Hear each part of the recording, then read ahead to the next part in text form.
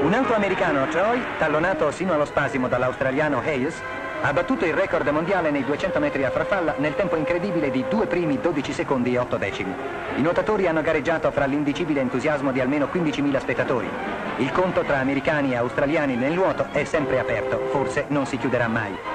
In corsa, superando se stesso, anche l'italiano Dennerlein, nuovo recordman europeo e nazionale in 2 minuti e 16 secondi netti. Ma nessuno poteva resistere al ritmo infernale imposto da Troy.